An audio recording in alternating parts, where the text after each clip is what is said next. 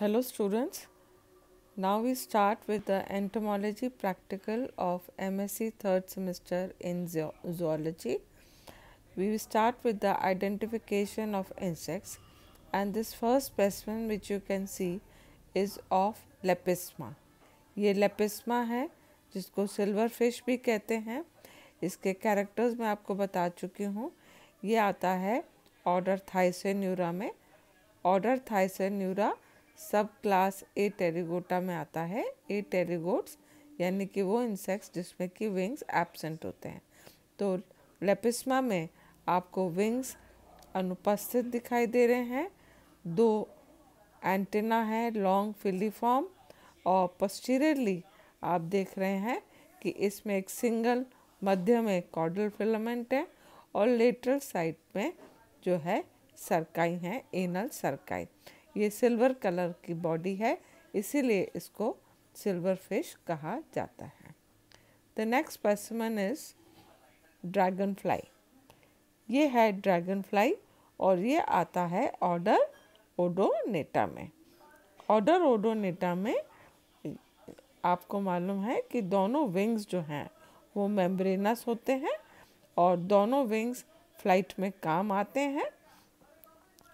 Dragon fly में दोनों जो विंग्स हैं फोर विंग और हाइंड विंग ये डिसिमिलर होते हैं। डिसिमिलर यानी कि दोनों एक से नज़र नहीं आते हैं। जैसे कि आप देख रहे हैं हाइंड विंग थोड़ा ज़्यादा चौड़ा होता है। इसके अलावा ओडोनेट्स की एक खास कैरेक्टर विंग्स पर, ऊपरी कॉर्नर पर एक डार्क स्पॉट पाया जाता है, जिसको कि टेरोस्टिग्मा कहा जाता है। इसके अलावा ड्रैगन फ्लाई और डैमसेल फ्लाइज दोनों में जो हेड है, उसमें कंपाउंड आइज़ बहुत बड़ी साइज़ की होती हैं। यानी कि हेड मेन हेड पर मेनली कंपाउंड आइज़ नज़र आती हैं। तो ये था ड्रैगन फ्लाई ये है third specimen damselfly damselfly और जो ड्रैगन फ्लाई अभी आपको दिखाया, उसमें पहला अंतर डैम्सल फ्लाई में दोनों जोड़ी विंग्स एक समान है। सिमिलर विंग्स, जबकि आपने देखिए ड्रैगन फ्लाई में ये जो दोनों विंग्स हैं, फ़र्स्ट पेयर ऑफ़ विंग और सेकंड पेयर ऑफ़ विंग्स, ये अलग अलग शेप और साइज़ की हैं। दूसरा डिफरेंस है, डैमसल फ्लाई का जो एब्डमन होता है, ये बहुत ही पतला और सकरा होता है नैरो टाइप डैमसल फ्लाइज में भी कंपाउंड आइज़ बहुत लार्ज साइज़ की होती हैं और विंग्स में आपको टेरोस्टिग्मा नज़र आता है। तो damselfly dragon dragonfly दोनों के दोनों आते हैं ऑर्डर ओडोनेटा में। नेक्स्ट इज़ ईयरविग ये चौथा स्पेसिमन नंबर फोर ये है ईयरविग ये आता है ऑर्डर डरमेप्टेरा में। ऑर्डर डरमेप्टेरा में ये जो स्पेसिमन है, इसमें आप देख रहे हैं, ये ज़्यादातर ज़मीन पर चट्टान पत्थरों के नीचे मिलेगा और इसमें फिलीफॉर्म एंटेना है और एक विशेष स्ट्रक्चर जो आपको पोस्टीरियर एंड पर नज़र आ रहा है, वो है इसके एनल सरकाई जो कि फॉर्सेप्स के समान है। इस, ये स्पीशीज़ है फॉर्फिक्यूला इसको ईयरविक भी कहते हैं ऑर्डर डरमेप्टेरा नेक्स्ट स्पेसिमन ये है grasshopper long horned grasshopper long horn grasshopper ये आता है ऑर्डर ऑर्थोप्टेरा में। ऑर्डर ऑर्थोप्टेरा में दोनों जो विंग्स हैं, ये एक समान नहीं होते हैं, जो फोर विंग्स हैं, वो थोड़े से थिक होते हैं, प्रोटेक्टिव फ़ंक्शन होता है, इनको टेगमिना भी कहा जाता है, और हाइंड विंग्स जो हैं, वो मेम्ब्रेनस होते हैं, और वो फ़्लाइट के काम आते हैं। इसको लॉन्ग हॉर्न इसलिए कहते हैं क्योंकि इसके एंटेना जो हैं, वो पतले, लंबे और इनमें थर्टी से ज़्यादा सेगमेंट्स होते हैं। इसके अलावा ग्रास हॉपर की जो विशेषता है, जैसे कि आप देख रहे हैं इस पिक्चर में, जो हाइंड लेग्स हैं, बहुत बड़े होते हैं।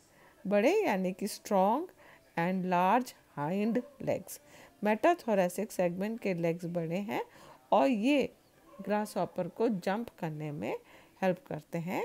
जंपिंग टाइप ऑफ़ लेग्स पाई जाती हैं इसमें। इसके अलावा ओविपोजिटर नज़र आ रहा है इसमें। ओविपोजिटर एब्डोमन के लास्ट सेगमेंट पे एग लेंग एपरेटस के ट्यूब के फॉर्म में नज़र आता है। ये फीमेल ग्रास हॉपर है। फिर दूसरा स्पेसिमन जो ऑर्डर ऑर्थोप्टेरा में है वो है मोल क्रिकेट। मोल क्रिकेट यानी कि ग्राइलो टैल्पा। ग्राइलो टैल्पा में भी विंग्स हैं, पर ये रिड्यूस्ड फॉर्म में है, क्योंकि ये जो है बरोइंग एनिमल है, मिट्टी के अंदर पाया जाता है और छोटी छोटी टनल्स बनाता है। तो इसमें हम देखते हैं कि anteriorly fossorial type of legs पाई जाती हैं। फ़र्स्ट पेयर ऑफ़ लेग्स आप देख रहे हैं, इसमें शॉर्ट है, थिक है, मोटी हैं और इसमें आगे की ओर, यानी कि फ्रंट जो टिबिया है और टार्सस है टार्सस जो है छोटी छोटी स्पाइंस या डिजिट्स के रूप ले लेती हैं, जो कि डिग करने में, यानी कि बरों को आगे खोदने में, मिट्टी को हटाने में हेल्प करती हैं। So this is mole cricket यानी कि ग्राइलो टैल्पा कॉकरोच इसे हम सब पहचानते हैं। कॉकरोच आता है डिक्टियोप्टेरा में। इसमें भी आप देख रहे हैं कि लॉन्ग फिलीफॉर्म टाइप के एंटीना है और जो प्रोथोरैक्स है उसका आ, वो काफ़ी बड़ा है। उसका जो डॉसल स्क्लेराइट होती है डॉसल स्क्लेराइट जिसको कि प्रोनोटम कहते हैं वो लार्ज साइज़ में है। फोर विंग्स डार्क कलर के और प्रोटेक्टिव फ़ंक्शन है इनका।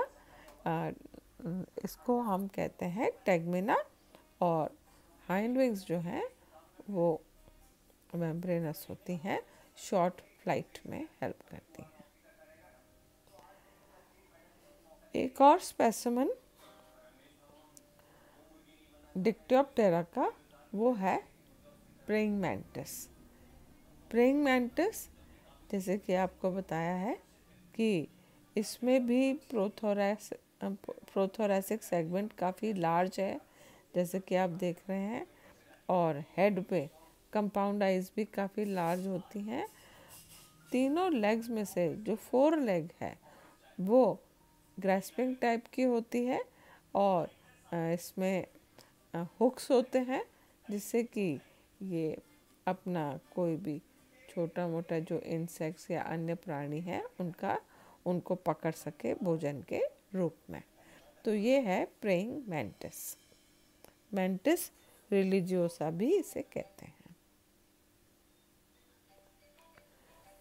नेक्स्ट पर्समन ये है नेपा या वाटर स्कॉर्पियन ये जैसे कि आपको बताया एक्वेटिक है, जल में पाया जाता है।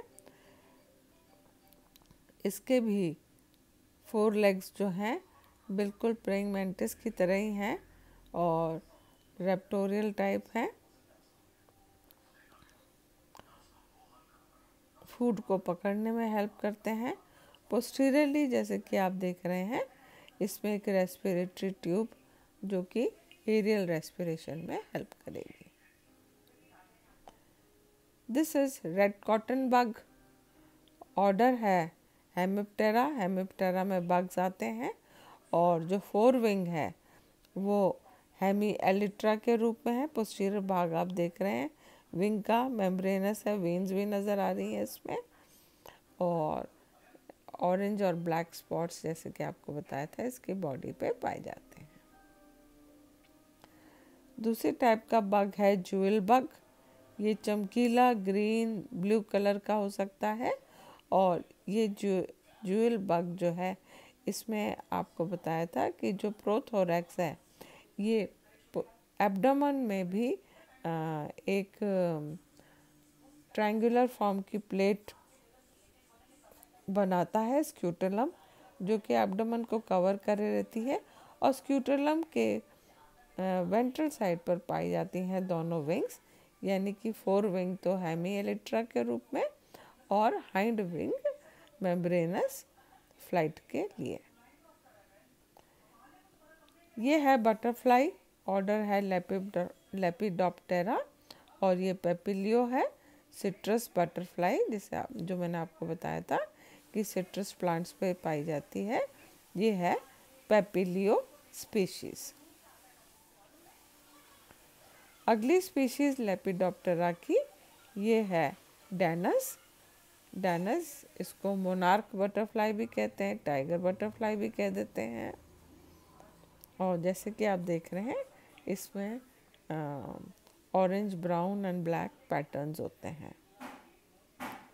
नेक्स्ट है ऑर्डर कोलियोप्टेरा का डंग बीटल डंग बीटल जो कि डंग पे पाई जाती है और ये बीटल्स में आप जानते हैं कि जो फोर विंग है, वो बिल्कुल हार्ड होती है, प्रोटेक्टिव फ़ंक्शन होता है इसका, और हार्ड ये जो फोर विंग है, इसको एलिट्रा कहा जाता है। हाइंड लेग में आप देख रहे हैं स्पर्स पाए जाते हैं, और ये जैसे कि आपको बताया, डंग इसका फ़ूड है। नेक्स्ट है, ये है ब्लिस्टर बीटल, ये भी कोलियोप्टेरा में ही आता है, और ब्लिस्टर बीटल में, जैसे कि आपको बताया था, ब्लैक और ऑरेंज ट्रांसफर्स पैटर्न्स होते हैं, बैंड्स पाई जाती हैं और इस, इसके सिक्रीशन से, जैसे कि आपको बताया, त्वचा पे स्किन पर ब्लिस्टर्स भी हो जाते हैं। सो दैट इज़ ऑल ये थे स्पेसिमंस या स्पॉट्स जो कि हमें आइडेंटिफिकेशन के लिए देखने हैं। Thank you